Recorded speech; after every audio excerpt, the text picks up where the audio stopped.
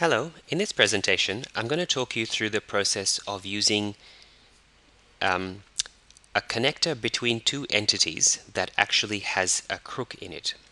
So I'm going to start with an, a very simple ER diagram that has two entities, CD and artist, that are connected by a many-to-many -many relationship.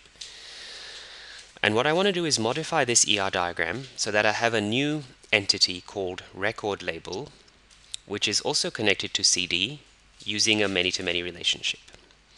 So let's add a new entity. And we said we'd call it record label.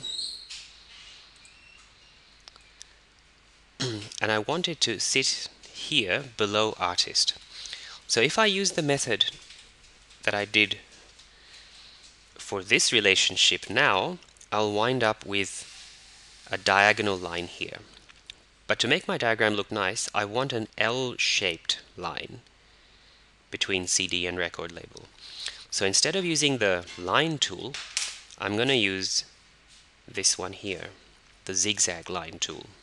I'm going to click on this once and click once on my canvas.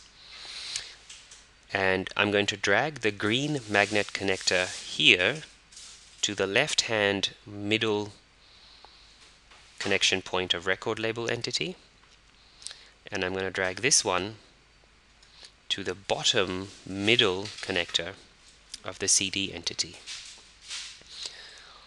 And what I'm going to do is adjust the cardinality, double click. I want the start arrow to be 0 or many, 0 or many, okay.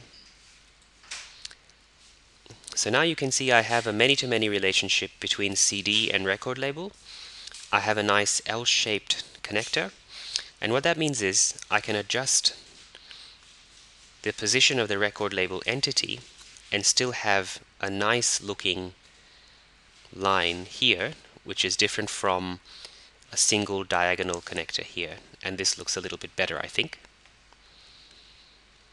So that's how you introduce the line with a crook or the zigzag, zigzag line and use it to draw relationships in dia.